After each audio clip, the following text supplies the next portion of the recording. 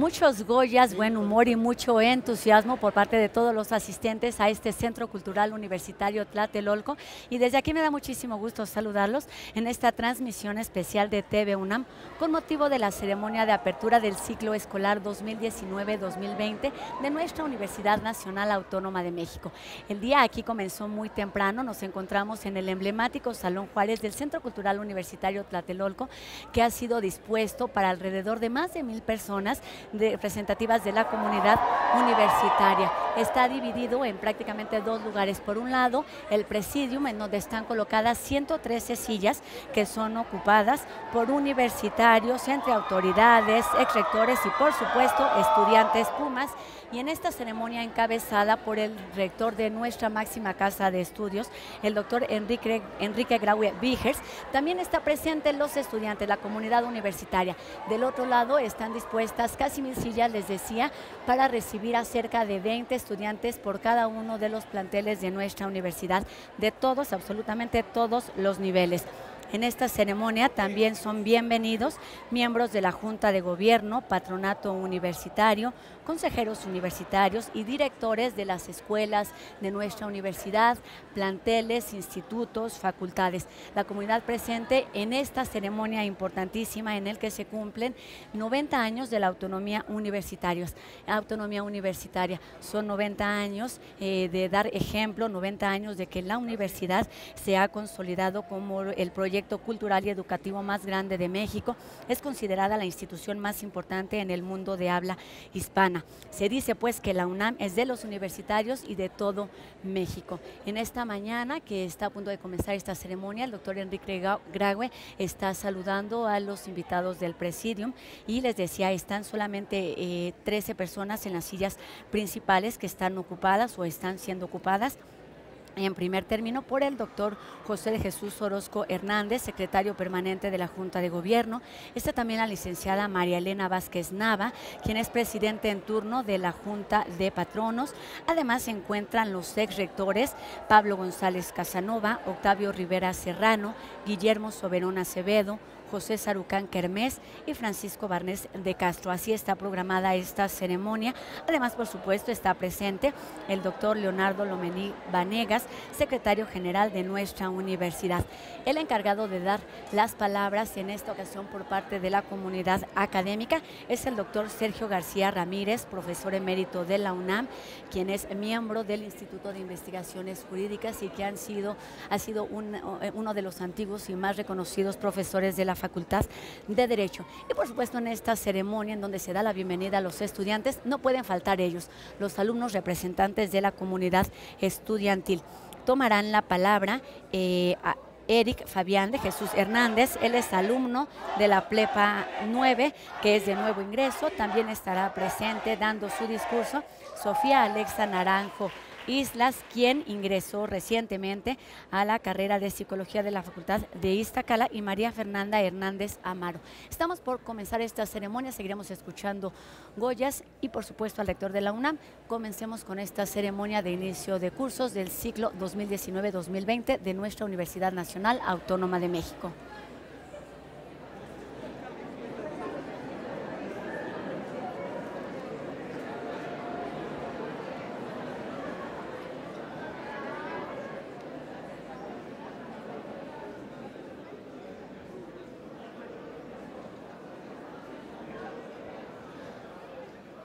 Si son tan amables, por favor, de tomar asiento.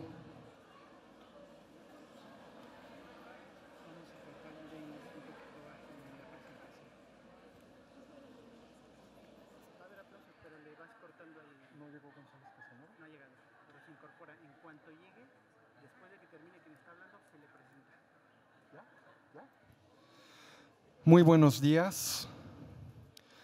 La Universidad Nacional Autónoma de México se honra con la presencia de todos ustedes en esta ceremonia de apertura del ciclo escolar 2019-2020. Preside este acto el doctor José de Jesús Orozco Enríquez, secretario permanente de la Junta de Gobierno de la UNAM.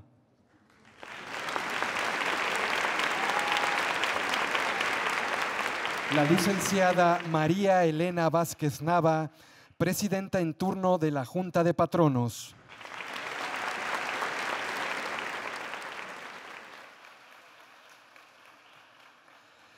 Nos distinguen en esta ocasión con su presencia los ex rectores de esta casa de estudios, doctor Guillermo Soberón Acevedo.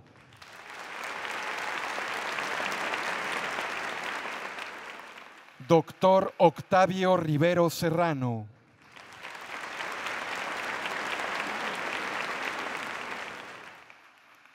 Doctor José Sarucán Kermes.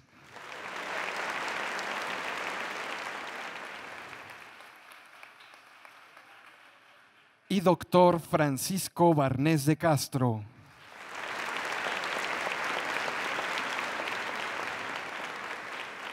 Nos acompañan también el doctor Leonardo Lomelí Vanegas, secretario general de la UNAM. El doctor Sergio García Ramírez, profesor emérito de la Facultad de Derecho de la UNAM.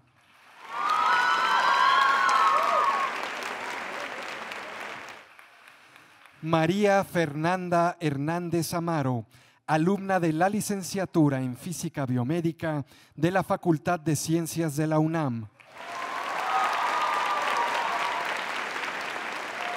Sofía Alexa Naranjo Islas, alumna de la licenciatura en Psicología de la Facultad de Estudios Superiores Iztacala de la UNAM.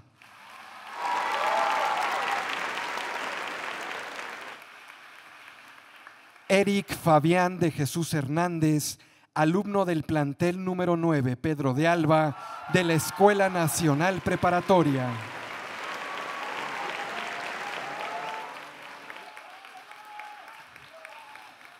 Y el doctor Enrique Graue rector de la Universidad Nacional Autónoma de México.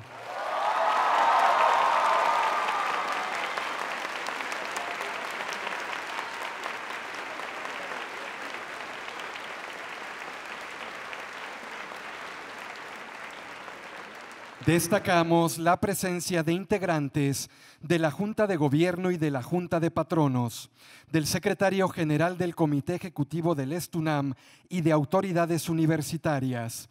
Igualmente, saludamos a los directores, profesores y alumnos de las facultades, escuelas y planteles del bachillerato de nuestra universidad que hoy nos acompañan.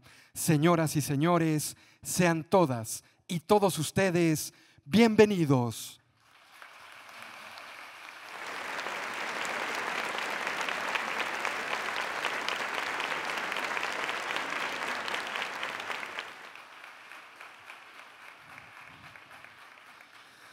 Damos inicio a este acto con la presentación del video Somos la Universidad de la Nación.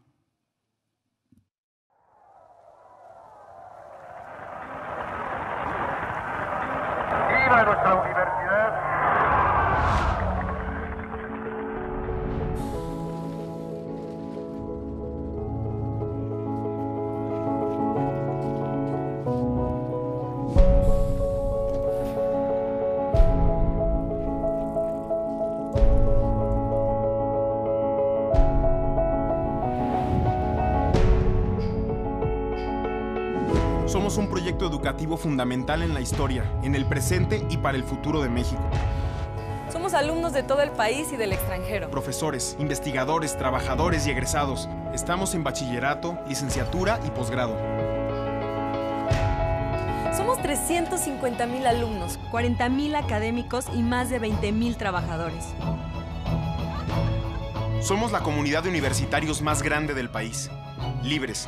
Mantenemos vivo el pensamiento crítico. Desarrollamos ciencia, tecnología y humanidades. Compartimos el arte y la cultura. Todo desde una comunidad plural que ve hacia el futuro.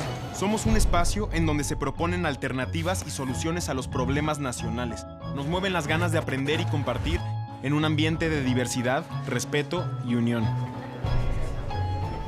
Somos una de las instituciones educativas más importantes de América Latina, con más de 120 carreras y 92 planes de estudio de maestría y doctorado.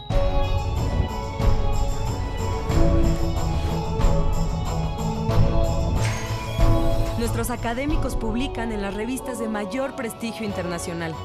Su trabajo abarca áreas que van desde la filosofía hasta las ciencias nucleares. En el 2009 se nos distinguió con el Premio Príncipe de Asturias y los tres premios Nobel que México ha dado al mundo pasaron por nuestras aulas.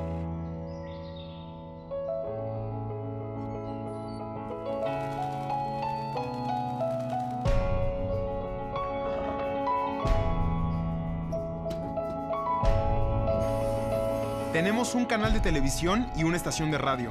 Editamos en promedio 6 libros al día. Contamos con 26 museos, 18 recintos históricos, 3 orquestas, salas de conciertos, teatros y cines, en donde cada año se organizan 14.000 actividades artísticas y culturales a las que asisten casi 3 millones de personas.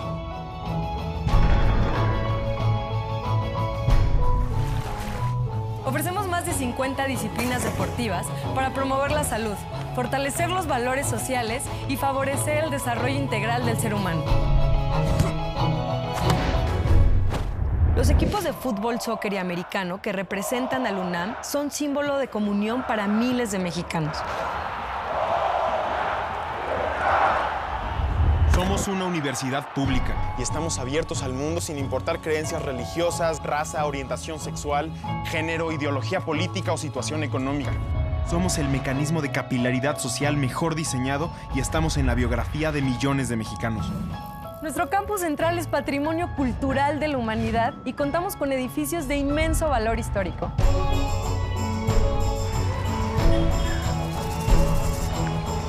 Al UNAM la hacemos todos en donde estemos, en siete países además del nuestro y en todos los estados de la República.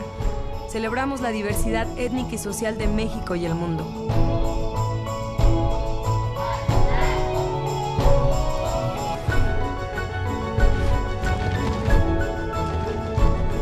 Riqueza más grande que tiene la UNAM es su gente. Actuamos en el mundo desde nuestro entorno, desde la identidad que cada uno crea y recrea en sus pasillos, oficinas, canchas, aulas, cafeterías, bibliotecas. Construimos ciudadanía.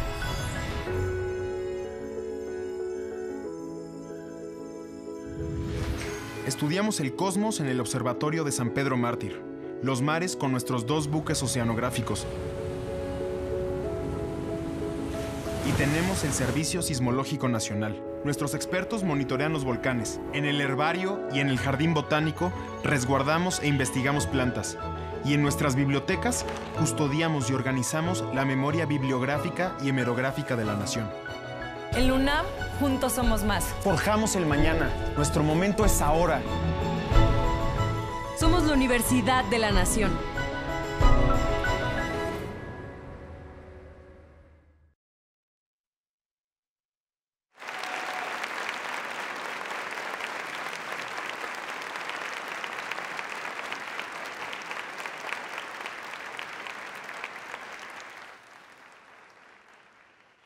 Hace uso de la palabra el profesor emérito de la Facultad de Derecho, doctor Sergio García Ramírez.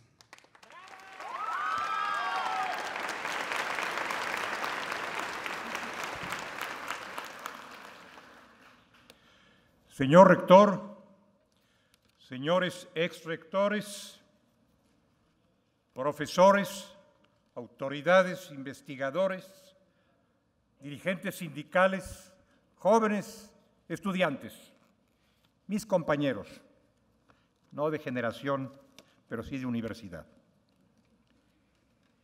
Es honroso hablar en esta ceremonia inaugural de los cursos de 2019 ante el rector de la Universidad Nacional Autónoma de México, ex rectores, directores, funcionarios, catedráticos, investigadores y trabajadores administrativos. Los saludo con el mayor aprecio. Gracias por permitirme ocupar esta tribuna. Pero ahora me quiero dirigir sobre todo a los nuevos protagonistas de la vida de la universidad y de nuestra nación. Quiero dirigirme a los jóvenes, mis compatriotas por partida doble, por ser mexicanos y por ser universitarios. Estas son calidades convergentes, unidas entrañan un privilegio sobresaliente y una inmensa responsabilidad. Me dirijo a los jóvenes como puede hacerlo un antiguo profesor universitario. Desde hoy, esta institución hospitalaria es la casa de ustedes.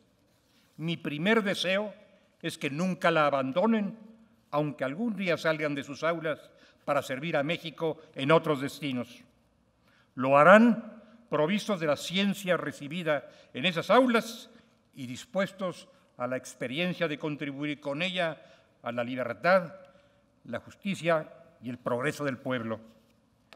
Que nunca la abandonen quiere decir que retengan siempre en el pensamiento y en el corazón, con arraigo inamovible, los ideales, los valores y los principios en que se finca la universidad. Con ellos se ilumina nuestro horizonte. Imperan, más allá de los años, las generaciones, las especialidades profesionales.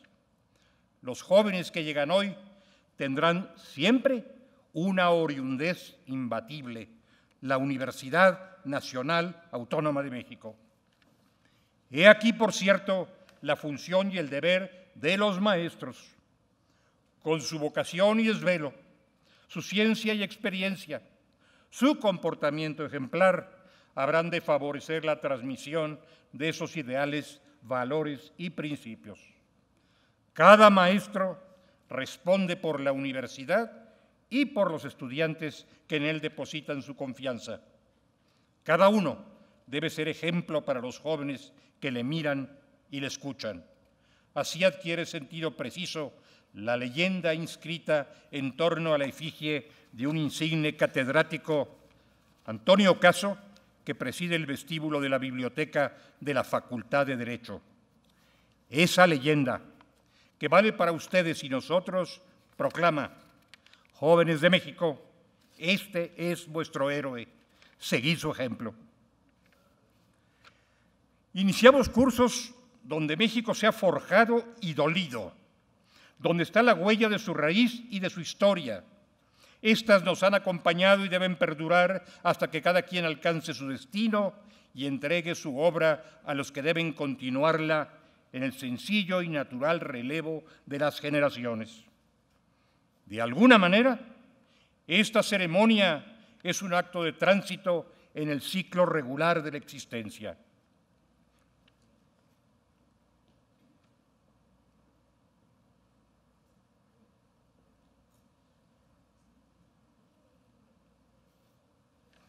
De ahí la emoción con la que los profesores podemos dialogar en la hora del encuentro con los estudiantes. En este lugar insigne, a pocos pasos de donde ustedes abren un capítulo de su vida, se enfrentaron dos culturas. Su sangre y su espíritu serían fuente de las nuestras. Y en este mismo lugar se desarrollaron trágicos acontecimientos. La universidad no los ha olvidado que trazaron la nueva frontera entre el pasado que se desvanecía y el porvenir que llegaba. Ustedes serán herederos de ese pasado y protagonistas de su futuro. Esta es su nueva calidad, una vez que transponen el umbral de la universidad, como lo hacen hoy con vigorosa juventud. Perciban y ejerzan la doble misión de ser herederos y protagonistas no pretenderán edificar la parte que les corresponde en el infinito edificio colectivo sobre tumbas abiertas para excluir el pretérito e improvisar el porvenir. Lo harán sobre el cimiento que aportó el pasado y con la mirada serena y generosa puesta en el firmamento al que otros contingentes encaminarán sus propias etapas en la obra sin fin, siempre en proceso nunca concluida. Los universitarios, amigas y amigos, somos celosos de ciertos compromisos y tradiciones. Corren por nuestras venas, dominan nuestro pensamiento, comprometen nuestra voluntad. Esos compromisos y esas tradiciones ya son suyos. los portarán y honrarán con inteligencia, generosidad y gallardía. Mencionaré solo algunos entre los muchos que paulatinamente poblarán su pensamiento y exigirán su acción. Ellos establecen el profundo sentido y el ambicioso alcance de nuestro nombre. ¿Por qué universidad? ¿Por qué nacional? ¿Por qué autónoma? ¿Por qué de México? En 1910 se inauguró la nueva Universidad Mexicana.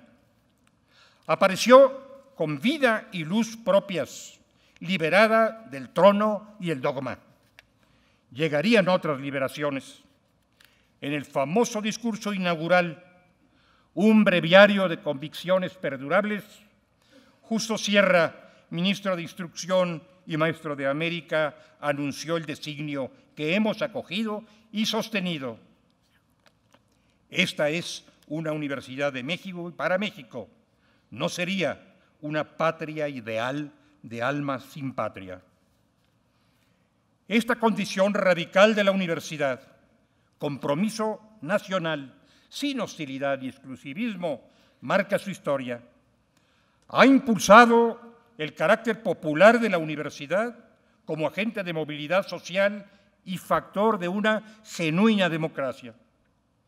Por supuesto, la verdadera universidad aspira a la universalidad en todos los órdenes. Este designio se halla en su nombre y reconoce el continuo que existe por fuerza entre lo nacional y lo universal. Dijo Alfonso Reyes, la única manera de ser provechosamente nacional consiste en ser generosamente universal. En suma, abierta a las más diversas corrientes del pensamiento, hospitalaria de la ciencia y del arte, que son universales y no tienen fronteras, esta institución se yergue como Universidad de México y para los mexicanos. Agregaré que en el mismo discurso premonitorio, Sierra advirtió a los integrantes de la nueva universidad, y podemos decirlo a ustedes, que la renuevan en 2019. Sois un grupo en perpetua selección dentro de la sustancia popular. Y tenéis encomendada la realización de un ideal político y social que se resume así, democracia y libertad. Serán alcanzables a través de un intenso esfuerzo por asegurar la calidad en el desempeño universitario. Todo esto constituye uno de nuestros compromisos y una de nuestras tradiciones. Veamos otro. En los años que siguieron a 1910, la universidad enfrentó obstáculos, asedios, desafíos. Su vida, señaló el rector Ignacio Chávez, ha sido una lección permanente, reflejo fiel de la vida del país. Años de decadencia y de agonía, seguidos de un despertar pujante capaz de todas las realizaciones. Nadie puede asombrarse, advirtió, de que sobre la Universidad Nacional ejerzan sus presiones, moderadas unas, brutales otras, fuerzas sociales o ideológicas que intentan imponerle criterios y hacerla torcer el rumbo, cuando no, adueñarse de ella. Quienes ejercen este asedio saben, prosiguió, que la universidad es el ariete más formidable con que se pueden golpear hasta hacerlas saltar en astillas las puertas del futuro. Pasó el tiempo y han variado las circunstancias, pero otras se hallan en vela. Miran y vigilan. Por eso también nosotros debemos mirar y vigilar. Lo hacemos en 2019 Ahora la universidad revisa su camino y su destino. Recuerda que el 26 de julio de 1929 los universitarios pudieron ufanarse de una feliz novedad, la autonomía. El directorio de la huelga estudiantil que acompañó la autonomía en 1929 señaló, y lo cito literalmente, la juventud es consciente de la enorme responsabilidad que para ella entraña la autonomía y anhela que sea lo más amplia y generosa posible. Esta conquista ha marchado con nosotros y nos ha permitido marchar. Más todavía, ha militado en la Marcha de México. Garantiza la libertad de enseñanza, investigación y difusión.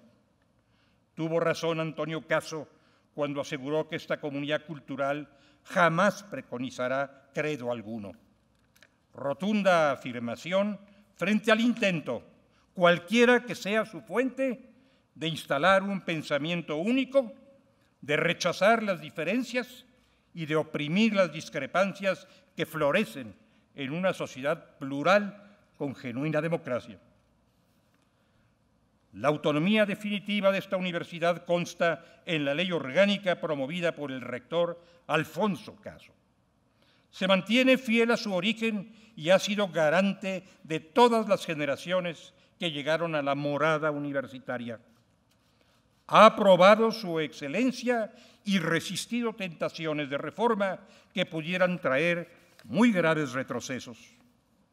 En circunstancias de encrucijada, esa ley fue baluarte para la defensa de la universidad, señaló el rector Javier Barro Sierra. La autonomía también figura en el artículo tercero constitucional. Quienes redactaron esta fórmula en 1979 advirtieron que la autonomía había llegado a ser una figura familiar a la nación mexicana. Entonces destacaron el deber estatal de respetarla irrestrictamente. Y también reconocieron que las instituciones autónomas de educación superior, por su parte, se hayan obligadas con la comunidad nacional. Jóvenes estudiantes, no ha sido fácil conservar y fortalecer la autonomía al abrigo de ataques y asaltos de diversa naturaleza y por distintos medios. Sobre ella han soplado vientos que podrían desplegarse de nuevo. Para prevenirlos y contenerlos, recordemos, recordemos que la autonomía es el oxígeno que respiramos. Está en nuestra raíz y en nuestra identidad. Sin ella, la universidad desfallecería con nosotros a bordo. Algunos pudieran querer el ocaso de esta libertad, pero somos más. Yo diría que el pueblo de México, quienes reconocemos el derecho y el deber de sostener la autonomía contra viento y marea. Incólume debemos transmitirla. También ella se inscribe entre nuestras más vigorosas tradiciones y constituye otro de nuestros mayores compromisos. Ustedes la están recibiendo, serán sus custodios. Amigos estudiantes, compañeros, compatriotas, ingresan a la mejor universidad de México, ámenla y honrenla. Ya forman parte de la familia universitaria. Como integrantes de ella pasan a identificarse con un escudo airoso en el que luce nuestra América, custodiada por volcanes y elevada con las alas del águila y el cóndor. Con un lema imbatible, ideado por José Vasconcelos, por mi raza hablará el espíritu. Y también, y también, con una figura de recia presencia, el puma, y una proclamación, el vibrante Goya, alegría de nuestras celebraciones. Les recibimos con afecto y respeto, además con solidaridad y esperanza, gran solidaridad, gran esperanza. A partir de hoy está en sus manos, asociadas a las nuestras, el destino de la Universidad Nacional Autónoma de México. Es más que el porvenir de una institución, implica el porvenir de la nación. Aquella y esta son su magnífica encomienda. Por mi raza hablará el Espíritu.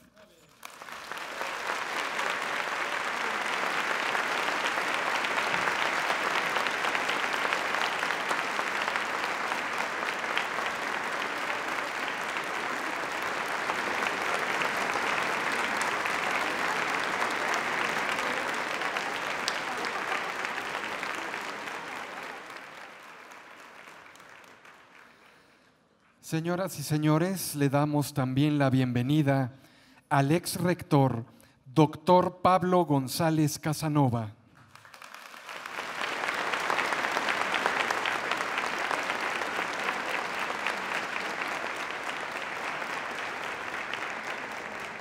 Tiene la palabra Eric Fabián de Jesús Hernández, quien ingresó al plantel número 9 Pedro de Alba de la Escuela Nacional Preparatoria, obteniendo 128 aciertos en el examen de ingreso al bachillerato.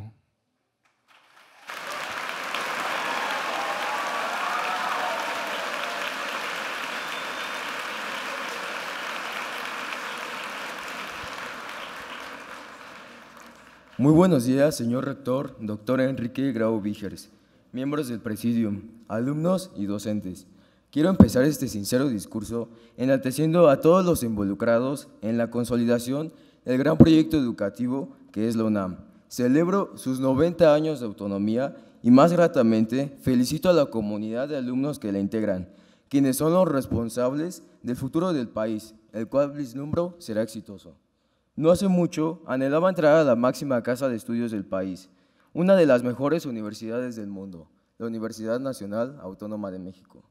Después de una amplia preparación, estudio, empeño, dedicación y apoyo de amigos y familiares, hoy, como la mayoría de ustedes, puedo llamarme orgullosamente universitario. Soy consciente de la gran responsabilidad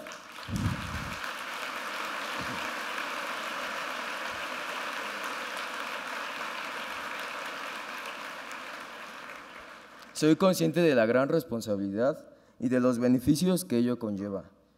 Estamos viviendo los mejores años de nuestra vida, que no solo se enriquecerán del conocimiento que esta institución ofrece, sino también de las muchas experiencias con amigos, maestros y más personas. Estas experiencias podrán ser buenas o tal vez malas, aún no lo sabemos. Esperemos sean magníficas, aún no los esperemos sean magníficas, ya que éstas nunca se borrarán de nuestra memoria y nos ayudarán a seguir siendo, a, seguir siendo personas exitosas. Representamos el futuro prodigioso de México y del mundo. Somos parte de las generaciones de profesionistas exitosos que están levantando el país, que es tan maravilloso. Podemos ser diferentes, pero al mismo tiempo iguales. Buscamos el conocimiento y la verdad. Estos son rasgos que nos caracterizan como comunidad.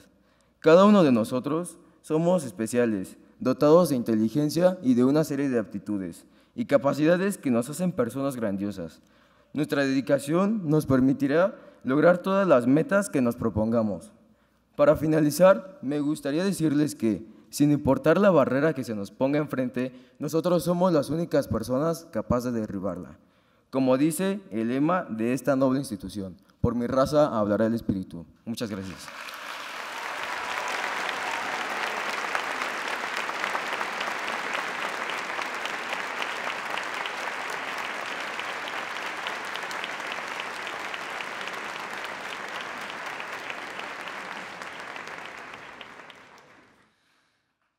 Escuchemos las palabras de Sofía Alexa Naranjo Islas, quien ingresó a la licenciatura en psicología en la Facultad de Estudios Superiores Iztacala, obteniendo 119 aciertos en el examen de ingreso.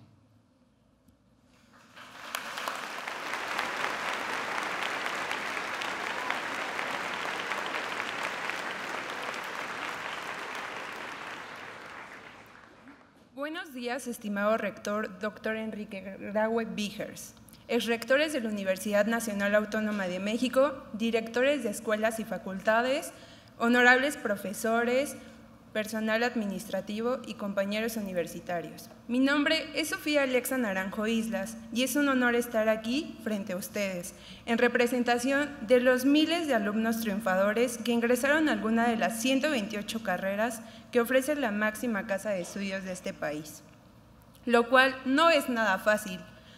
A veces hay que intentarlo una y otra vez. Son 120 aciertos que marcan nuestra vida y son los que nos dan un lugar en la universidad. Aprovecho esta oportunidad para felicitar a todos mis compañeros de nuevo ingreso por su nuevo bueno, por su ingreso, por su esfuerzo, dedicación y desempeño, características que nos han abierto las puertas a la Universidad de la Nación. Entrar a la universidad no es nada sencillo, se requiere de constancia, preparación y mucho esfuerzo. En mi caso, elegí la Facultad de Estudios Superiores Iztacuala, la cual me enamoró con sus grandes, amplias y verdes instalaciones, además de su buen nivel académico. Voy a estudiar la carrera de psicología, la cual tiene un plan de estudios muy amplio y muy completo. Quiero agradecerles por haberme abierto las puertas y darme la oportunidad de formar parte de los Pumas del Norte. Agradezco el inmenso apoyo de mis padres por siempre confiar en mí y brindarme todo su amor, tomar mi mano y estar a mi lado en esta lucha. Este es el inicio de uno de, de los caminos más importantes de nuestra vida y es aquí donde compartimos todos una alegría, la alegría de comenzar la vida universitaria. Por ello, los exhorto realmente a aprovechar al máximo todos los beneficios que nos brindan, a darle la importancia al lugar que nos hemos ganado, porque cualquier otro joven lo querría. Una buena educación es un trabajo de toda la vida y comienza ahora. Nuestro deber, ser felices, buenos universitarios y buenas personas.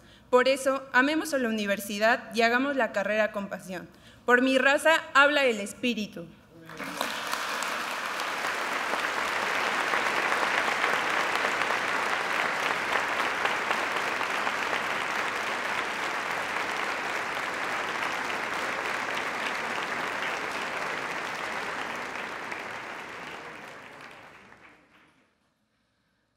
Tiene la palabra María Fernanda Hernández Amaro alumna de la Facultad de Ciencias, quien ingresó a la licenciatura en Física Biomédica mediante pase reglamentado con promedio absoluto de 10.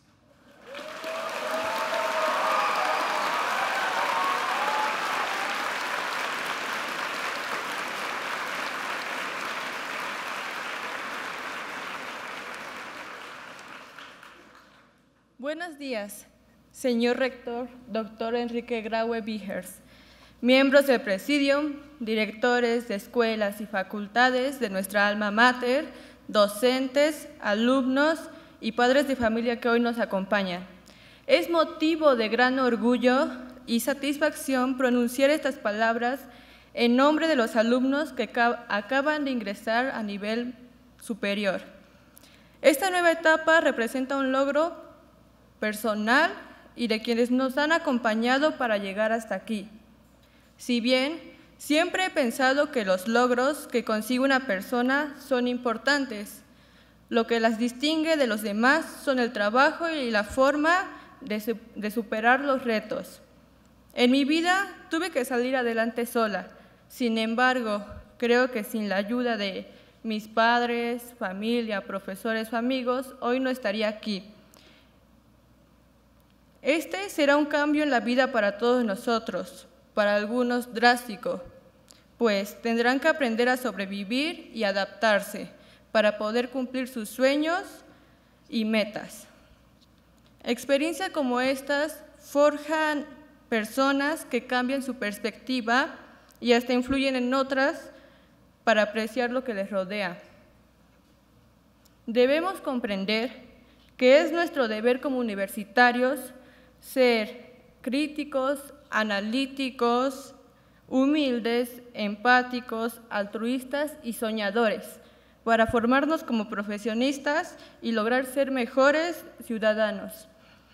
Nada es fácil. Está en nosotros darnos por vencidos o seguir adelante. A veces las cosas, las cosas fáciles son las que menos se disfrutan. Cada sacrificio tiene su recompensa Debemos ver la vida desde una visión diferente, mirar hacia adelante con la cabeza en alto y sin doblegar el espíritu y esperanza. Nuestro exrector José Vasconcelos lo dijo, quien más haya menester de una cosa, quien más ponga en ella apetencia y voluntad, ese debe de ser su dueño. Aprendí a luchar por lo que quiero y puedo hacer, a trascender en todos los sentidos para así superar los obstáculos que se presentan y a pelear una batalla a la vez. Pues El pasado es historia, el futuro un misterio, pero el ahora es un regalo, por eso se llama presente. Debemos aprender que la confianza más importante es la de uno mismo y que necesitamos perder el tiempo a intentar nuevas cosas, pues, ¿qué es lo peor que podría pasar? No perdamos ese afán por descubrir y aprender, ya que lo poco que he aprendido carece de valor comparado con lo que ignoro y no desespero aprender, dijo Descartes. Cuando sientas que ya no puedes más y estás a punto de darte por vencido, recuerda que detrás de un no puedo existen tres sí puedo. El límite lo pones tú. Ten presente que independientemente del lugar de donde vengamos o la tristeza que éste nos provoque, nos hemos puesto la, la camiseta que lleva escrito UNAM somos guerreros de sangre azul y piel dorada, que no se rinden ni se doblegan fácilmente. Somos universitarios, somos UNAM. Muchas gracias.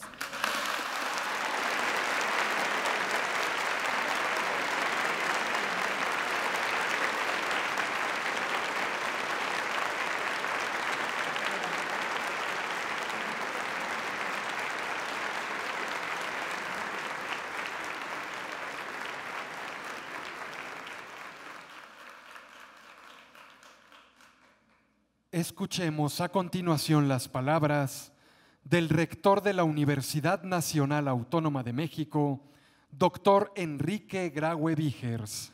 Muchas gracias.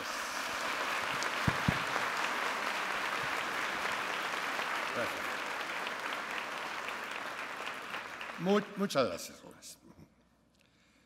Doctor José Jesús Orozco, secretario permanente de la Honorable Junta de Gobierno, señora Presidente del Patronato de la Universidad, miembros de la Junta de Gobierno y del Patronato que nos acompañan, señores directores y alumnos todos ustedes. Después de oír a Sergio García Ramírez, es difícil hablar, se lo comentaba a él hace unos momentos. Quiero agradecer especialmente que me hayan acompañado los señores rectores, doctor Pablo González Casanova, doctor Guillermo Soberón, doctor Octavio Rivero Serrano, doctor Sarucán, el doctor Francisco Barnés de Castro, como egresados de nuestra Casa de Estudios y rectores. Jóvenes, sean todos ustedes muy bienvenidos a la Universidad Nacional Autónoma de México la universidad, como decíamos, de la nación. Deben sentirse muy satisfechos porque es gracias a su esfuerzo que ahora forman parte de la universidad.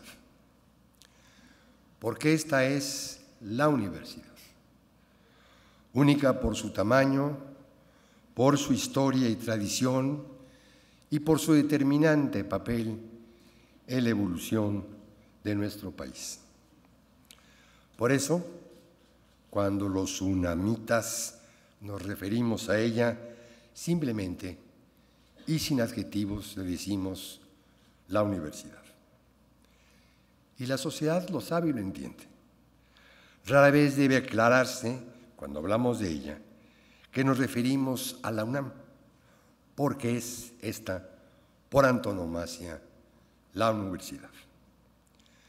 Es nacional efectivamente desde hace 109 años, desde hace 90 indeclinablemente autónoma y desde hace mucho tiempo la mejor de México y hoy la segunda universidad en el mundo de habla hispana. Se integran ustedes a una comunidad escolar que ya asciende a más de 356 mil estudiantes que en unos años más deben transformar el rostro de nuestra nación. Con su incorporación volvemos a alcanzar una cifra histórica, porque el extender la oferta educativa no es la resultante de presiones externas, sino un compromiso con la sociedad que nos da origen y que requiere de nuestro esfuerzo. Este crecimiento que tenemos es el producto de la diversidad de oferta, del esfuerzo de los docentes, de los cuerpos colegiados y de las autoridades de las entidades académicas para ampliar las posibilidades de educar sin alterar la calidad de esta. Mi reconocimiento a todos ellos. Casi 35 mil jóvenes inician el bachillerato. Un ciclo efectivamente de descubrimiento en saberes y vocaciones. Una etapa de formación de identidades y de encuentros con amistades, amores y alegrías. Otros 50 mil llegan a una etapa de formación profesional en alguna, como bien decía Erika, de las 128 carreras que se imparten actualmente en nuestra universidad. Este año, con el ingreso a la licenciatura, aumentamos nuestra oferta educativa en más de un 4% en relación con el año inmediato anterior. Este nivel de estudios de licenciatura está diseñado para desarrollarse, crecer y adquirir competencias y habilidades necesarias para cuando lleguen a empezar su vida profesional. En esta etapa, indudablemente, como bien comentaba nuestra nueva alumna, habrá momentos de gran satisfacción y claridad del futuro, y otros de incertidumbre y duda, los cuales requerirán efectivamente de mayor esfuerzo y acompañamiento de nuestra parte. En esos momentos, cuando ustedes duden, no duden, no piensen, no duden en acercarse a tutores, maestros y autoridades. Permítanos aconsejarles y orientarlos en su mejor desarrollo. Para todos ustedes, un mundo se abre en las profundidades del conocimiento. Sumérjanse con decisión en él. México los necesita efectivamente así, con añoranzas, esperanzas, reflexivos, imbatibles e incansables. Esta generación que ingresa, como se comentaba, coincide con el nonagésimo aniversario de nuestra autonomía, concepto que es parte de nuestra identidad y de nuestra esencia. Para el efecto, este año se eligió como símbolo del aniversario de la autonomía un árbol de follaje multicolor, cuyos hondas raíces son nuestra autonomía, que dan origen a un tronco de color azul, del que emergen las ramas del conocimiento que cultivamos. Y ese árbol simbólico se llena todos los años de hojas y frutos que son ustedes y el resultado de nuestra actividad, que es necesariamente, como se muestra, variopinta, diversa, plural y en armonía. Ese árbol de la universidad es un espacio privilegiado para ejercer y nutrir su libertad. En su follaje está el espíritu de un pueblo profundo y diverso.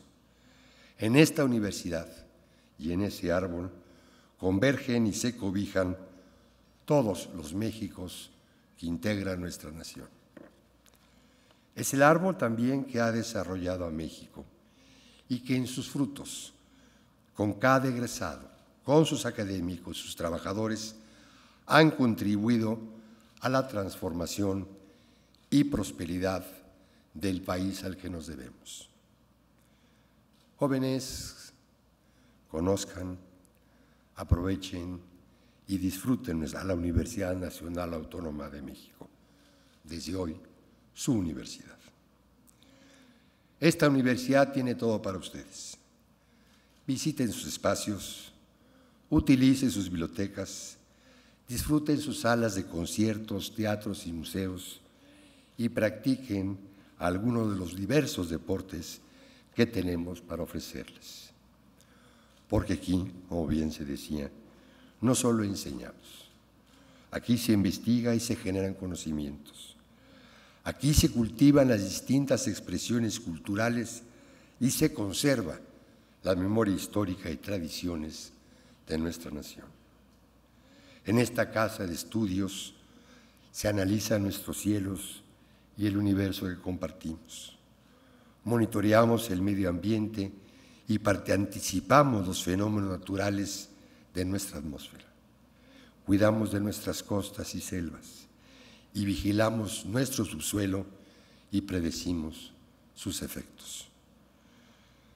Preservamos en la Biblioteca y la Hemeroteca Nacionales y custodiamos plantas y colecciones biológicas en recintos y entidades académicas. Por todo ello, siéntanse también, por favor, muy orgullosos de su universidad, de su libertad, de su organización, de su diversidad y de sus logros, y siéntanse también muy comprometidos hacer de nuestro México un país mejor. Enhorabuena, jóvenes, y mil felicidades. Que por nuestra raza hable ese espíritu.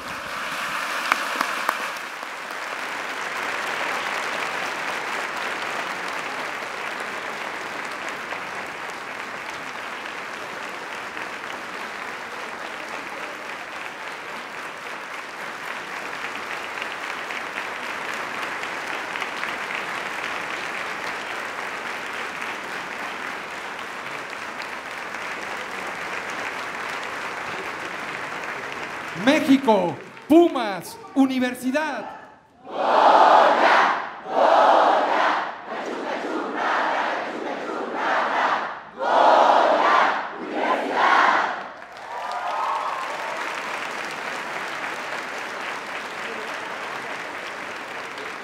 Es así como damos por terminado este acto.